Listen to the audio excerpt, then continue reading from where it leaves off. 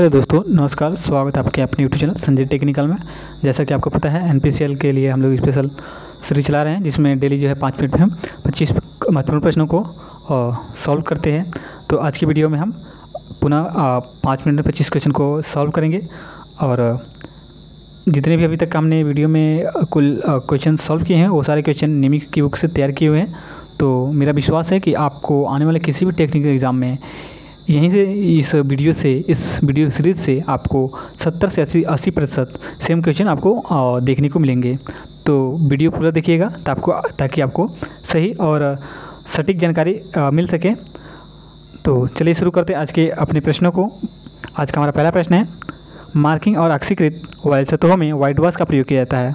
White wash क्या है? एक प्रकार का मार्किंग मीडिया है। मार्किंग मीडिया के लिए हमने अलग से एक वीडियो बना रखा है चैनल पे तो आप प्लीज़ अगर आप चाहते हैं कि आपका मार्केट से संबंधित कोई भी डाउट न रहे और आप सारे क्वेश्चन को कवर कर मार्केट मीडियम से किसी भी एग्ज़ाम में अगर पूछे जाए तो तो उस वीडियो को आप देख सकते हैं, ठीक है?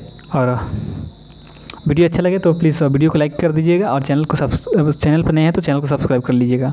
चलिए देखते हैं नेक्स्ट क्वेश्चन को। आज का हमारा दूसरा क्वेश्चन है।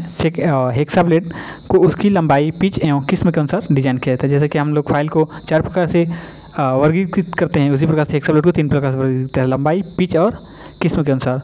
लंबाई आपको पता ही है कि ढाई सौ से तीन सौ एम तक के हेक्सा ब्लेड यूज़ होते हैं हमारी हेक्सा में और हेक्सम फ्रेम में। और पिच दो दांतों के बीच की दूरी पिच होता है और किस्म के अनुसार से आप, दो प्रकार के हेक्सा ब्लेड होते हैं, एक ऑल हार्ड होता है, एक फ्लेक्सिबल होता है, ठीक है? उम्मीद है इतना जानकारी आपको हेक्सा ब्लेड से लिए काफ़ी है, ताकि बाकी अगर हम ज़्यादा डिटेल्स में जाएँगे तो वीडियो लंबी हो जाएगी। चलिए नेक्स्ट क्वेश्चन देखते हैं।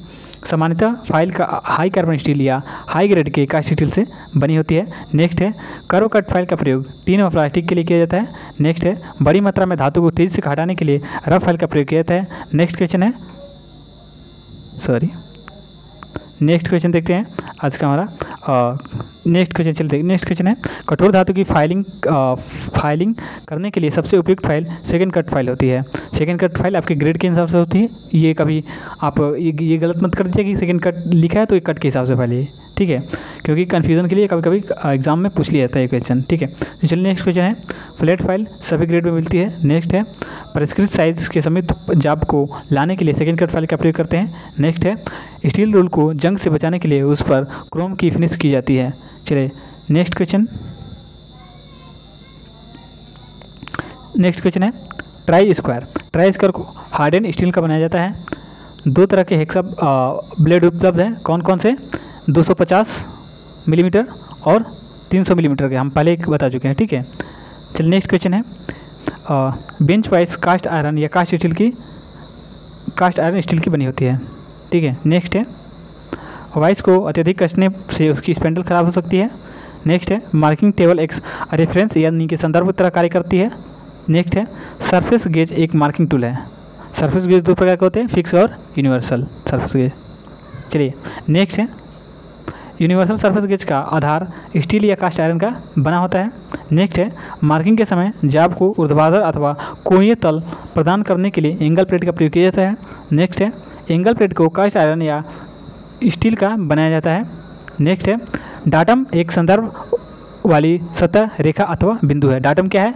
कोई एक संदर्भ वाली सतह है रेफरेंस सतह सरफेस हो सकती है, कोई रेखा हो सकती है या कोई पॉइंट हो सकता है आपका। वहाँ से हम डाटा लेते हैं। डान ठीक है।